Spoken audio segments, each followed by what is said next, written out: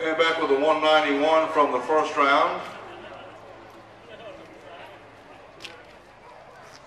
Our next entry to show is number 39. This is Ebony, owned by Boss Incorporated, and shown by Rachel Kennedy.